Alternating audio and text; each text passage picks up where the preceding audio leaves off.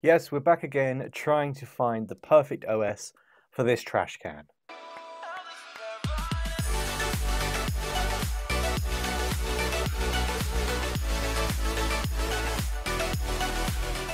This is my 2013 Mac Pro trash can, uh, and we've been kind of on a bit of an adventure trying to find the perfect operating system for this. And today we're going to be looking at it using it as a server which on the surface might seem a bit odd, um, and certainly from an efficiency point of view, might not be the best. However, we do have a 12-core Xeon processor in here with 24 threads and 64 gigabytes of DDR3 RAM, so it's kind of quite server-like. Pop that back down again because it is incredibly heavy.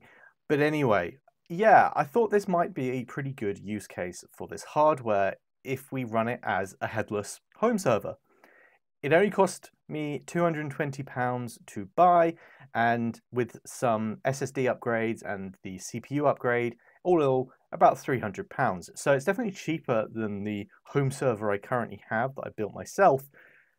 So is it a good option? Well, we're going to do a few different home servery tasks and see if it can hold up in 2025. So we'll be using Ubuntu 24.04, which is the latest long-term release nice stable server OS. And we will be running this headless, which means there is no monitor, no use of kind of a graphical environment. Everything will be from the command line or web-based interfaces. Now the install process for Ubuntu itself, completely smooth, very easy, no problems here at all. Uh, it is a plus side of this being an older Intel Mac. These things do install other operating systems, no problem at all and it was a very straightforward process. So once we were all set up, one of the first things I always do when I'm setting up a headless server is I use Webmin. Webmin is a great tool that kind of gives you a web-based admin interface that allows you to monitor the system, monitor CPU usage, RAM usage, disk usage, but also a lot of the kind of administrative tasks that you might need to do under Linux can be done through the web interface. And as someone who's not been a kind of a Linux server manager for many years now, although in the past life I did, it's just quite nice having a user interface to be able to do these things uh, and not have to remember commands and everything else. So it's a really good piece of software. I definitely recommend installing it if you do have a similar situation where you're kind of setting up your first home server. So what are we going to do today? Well, we're going to look at three tasks that I currently use my home server for anyway, so we could look to offload some of those tasks to this machine. The first task is running a Minecraft server. So I have a local Minecraft server that I run uh, for myself and my wife to play on, but also for friends and other people who want to join. So it is exposed to the internet. Uh, no, you're not getting the details, but it is something that I do. The next thing that I've kind of been interested in trying, I haven't actually started doing it on my own home server, uh, is uh, running local uh, AI models. So kind of LLMs, but also looking at small language models as well. I think that's probably more fitting, but we're going to have a look around running some language models and seeing how well this hardware can handle that. The 64 gigabytes of RAM could be quite useful here. And then finally, we're going to see what it's like as a media server. So we're going to use Jellyfin. Uh, on my main system, I actually use Plex, but I've been really interested in moving to an open source alternative. So we're going to try out Jellyfin and see what it's like. Uh, and importantly, see if we can render, uh, see if we can transcode 4K media on this thing. Um, I personally do use a GPU to transcode media just because I don't have much storage space, but do have available GPUs. So uh, I make use of that, which means I only have to keep the 4K copy of the uh, video and anything smaller can be just transcoded on the fly. Okay, so heading into Minecraft servers, uh, I actually use a piece of software called Crafty Controller, which is just a really nice interface to manage Minecraft servers. It makes it very easy to spin up new servers um, and just very easy to kind of manage that environment if you maybe want to have different servers that you can turn on and off some modded servers, some other things as well, and you can kind of monitor what's going on with them all. So it's a really good user interface. I definitely recommend it if you're looking for something to manage some Minecraft servers locally. Uh, and so we got that installed with no problem at all and, and got a Minecraft server set up. It, it is very straightforward. There's no real uh, worry there. And logging in as by myself and testing it out, everything seems to be running fine. It seems quite able to do that. Again, Minecraft is quite RAM heavy, so it's quite a useful kind of open 64 gigabytes of RAM to keep things going. It's not very multi-core thread optimized, so there's definitely going to probably be some issues with the fact that our cores are running at a lower clock speed individually, so the single core performance here isn't as amazing as I'd like. So how do I actually test the performance here? Because yeah, with me just on the server, it works perfectly fine. Well, I had a look around and actually found some kind of bot automated testing benchmarking things that you can do. The first one was a project called MC Bots, which supports the latest version of Minecraft. Uh, unfortunately, it doesn't actually like automate the moving of the bots. It just logs a load of bots into your server, and then they just stand there, which is fine. But it's not really benchmarking like a more realistic world where you've got players that are moving about, loading new chunks, and kind of exploring the world. So I found another project called Minecraft Stress Test. Unfortunately, this one doesn't seem to be as up to date. It isn't supporting the latest version of Minecraft, so I did have to downgrade to version 1.21, which is not that old, but is still a downgrade uh, to run this test. But I still thought it was worthwhile because crucially, this one does automate a, a randomized kind of movement for all of the bots that you load in. So it's going to load new chunks, it's going to kind of have to transmit all that movement data between the clients. Super useful for what I'm trying to test. So we started out with loading 20 bots, and that was actually no problem at all. Surprisingly, it was quite happy, just buzzing along uh, having those bots slowly drift out into the world. Some of them did unfortunately drown and respawn because they drifted out into water. But that actually worked really, really well. And frankly, I would never be in a situation where I'd have more than 20 players online anyway. So that would kind of confirm to me that actually this trash can works very well as a Minecraft server for my needs. However, how far can we actually go with this? So naturally, I thought, let's see how what would actually cause the server to crash, and I loaded up a hundred bots. uh, and needless to say, uh, once those hundred bots had loaded in and they started moving, the server ground to a halt and crashed. So it's fair to say that the server can't handle a thousand, a hundred bots.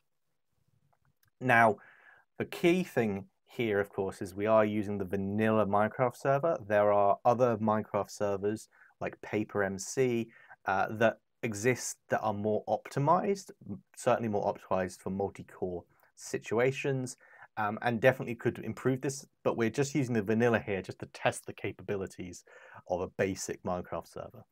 So I dialed the number of bots down to 50, again, way more than I'd ever need. Uh, but actually, it just about handled it. There was definitely lag, certainly as lots of the bots were going into new areas and loading them.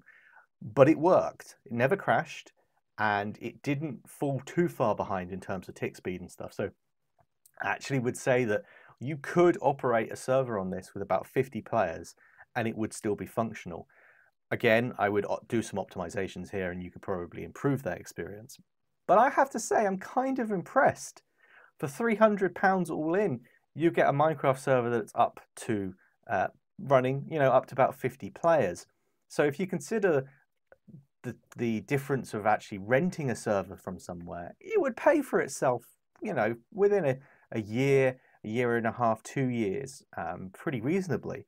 And of course, you have a lot more kind of opportunity with this because you own the hardware and you can do other stuff at the same time.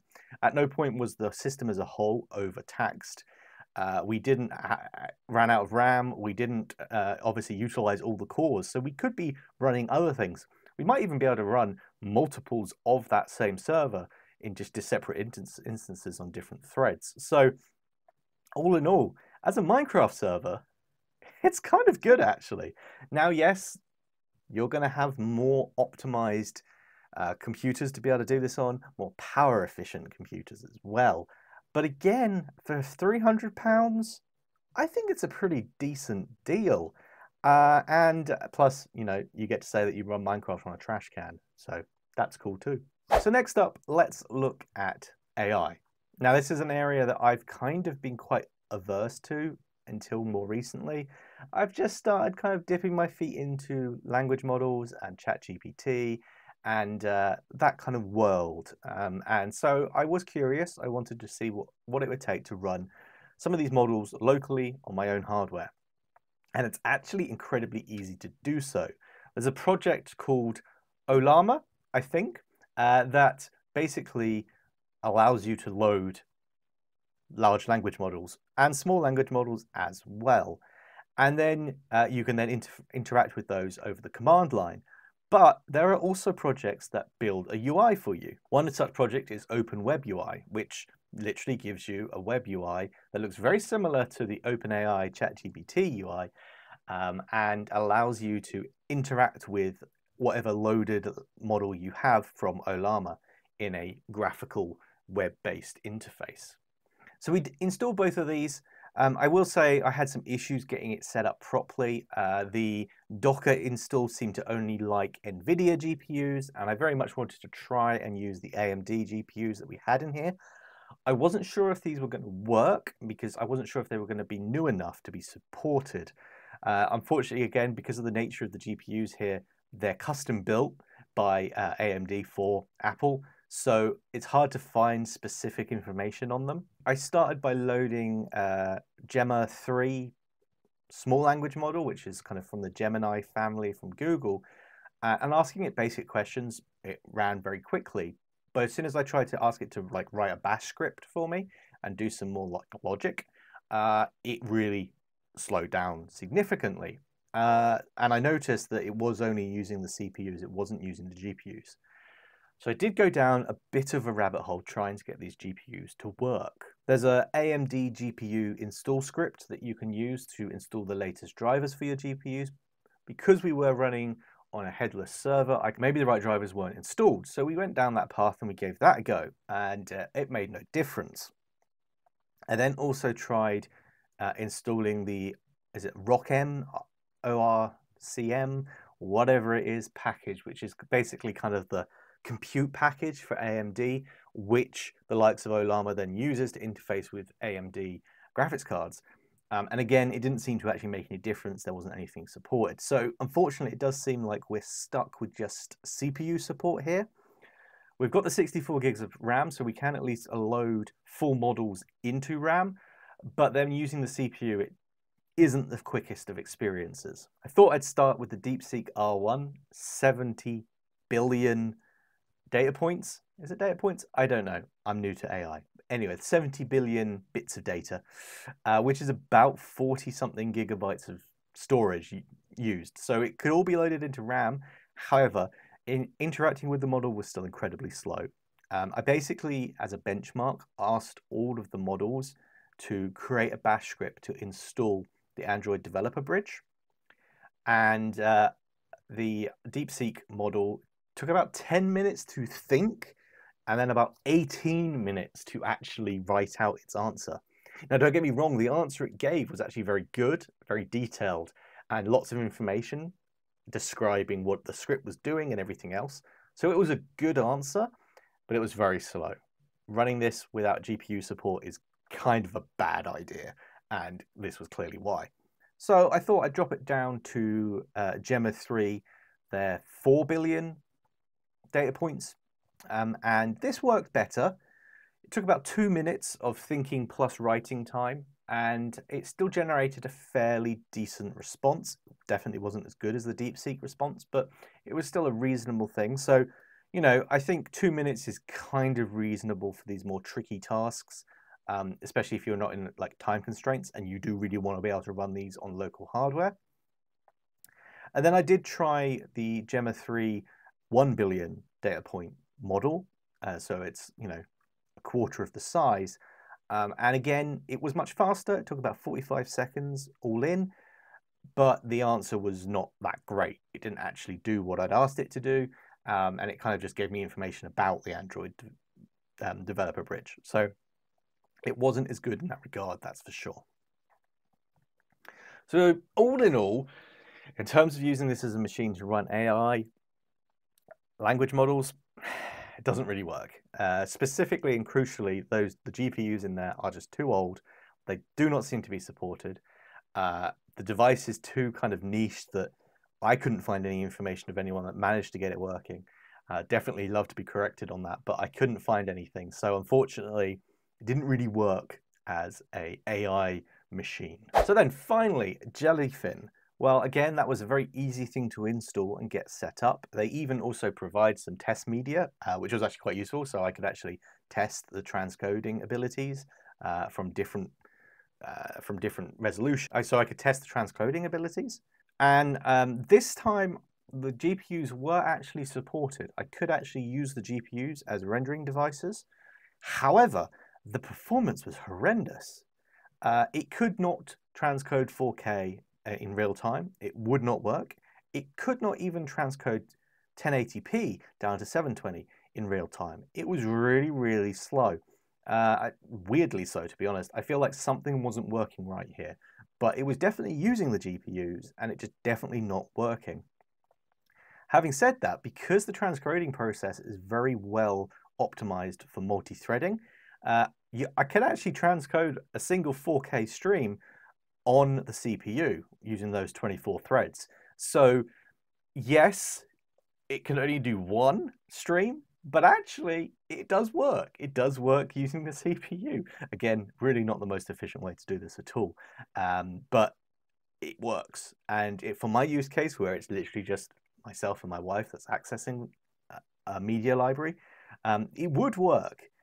I think though that it is going to be a lot more performant and energy efficient to just use a GPU for this purpose um, and continue using my normal server.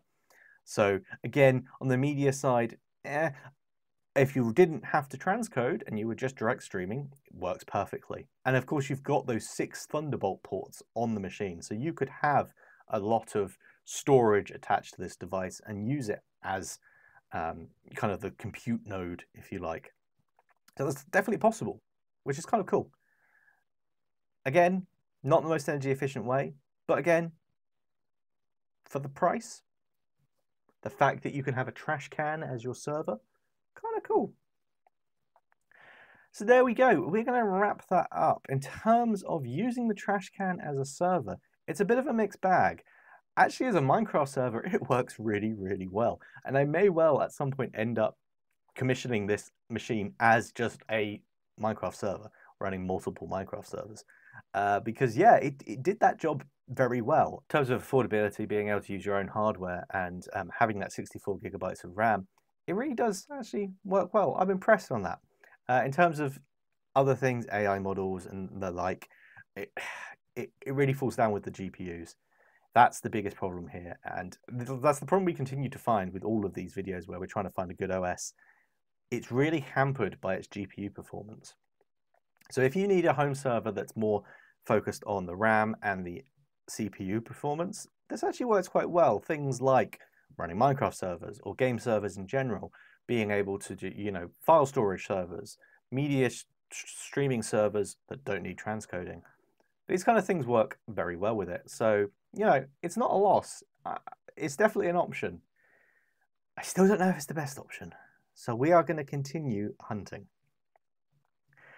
But we are going to wrap it up there for today. I hope you have enjoyed this video. As always, I've really enjoyed putting it together. And I will see you again in another video very, very soon. Bye for now.